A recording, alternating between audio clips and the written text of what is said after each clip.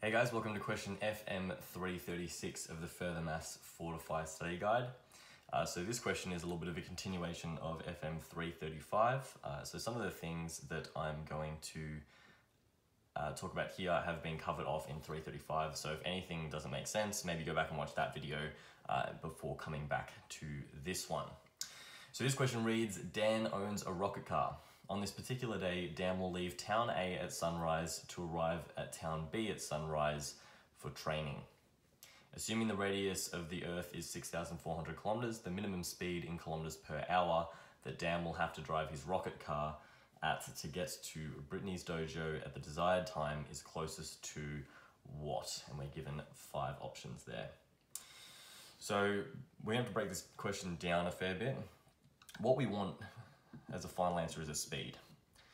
And we can get a speed by taking a distance in hours, sorry, a distance in, a distance in kilometers over a time in hours to get an answer that is in kilometers per hour.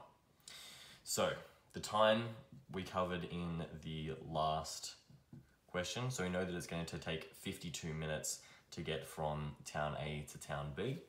However, we want to express this in, in its exact form because it would take 13 out of 15 hours. So 13 over 15 hours is the exact representation of 52 minutes.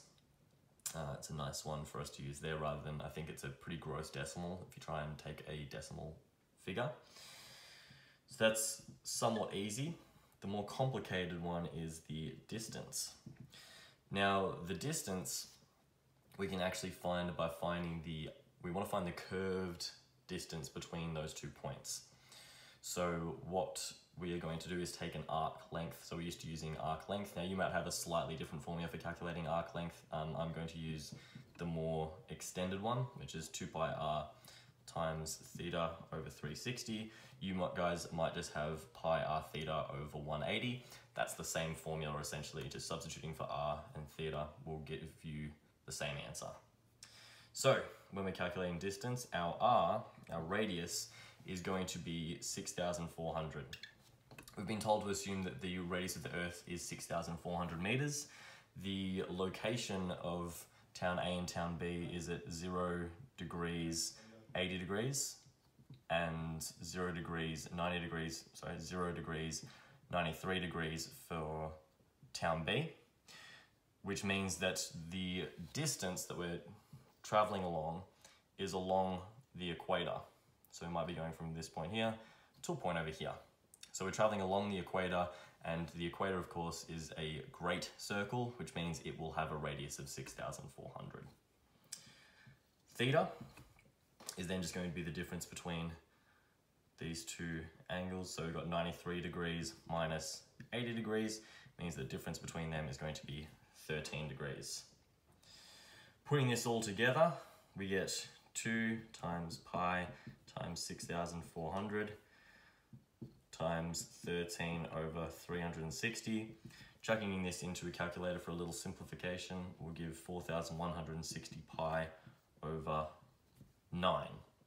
And we'll use this to represent our exact distance.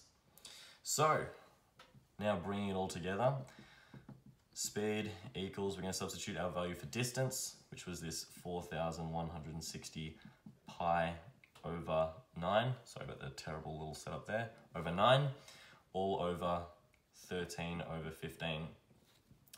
Plugging that all into a calculator should get you an answer rounded one decimal place of 1,675.5, which of course is closest to option D. If you guys have any questions about this question, please drop them in the comments below. Otherwise, I'll see you in the next video.